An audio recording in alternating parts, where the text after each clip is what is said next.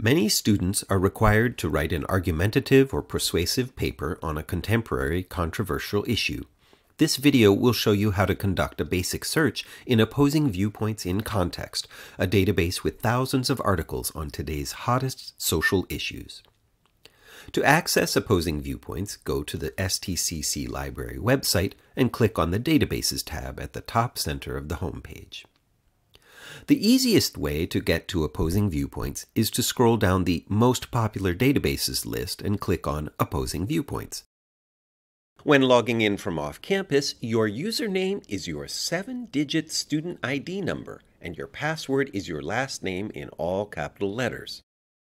From here, you can do a basic search, browse the latest issues of interest, or scroll down and browse a list of issues by topic area.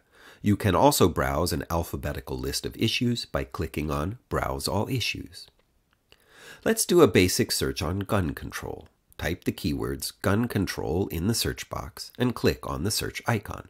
As you type, the database will suggest other search options that include your keywords. At the top of the results page, there is an article that provides an introduction and overview of the topic. Click on Read More to access the full article. Below the overview, you will see a list of sources on gun control arranged by type of material and number of items. Click on any of these categories to delve deeper into your topic.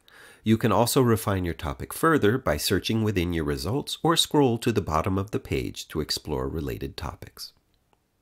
Let's look for magazine articles on gun control. Click on Magazines to view the results.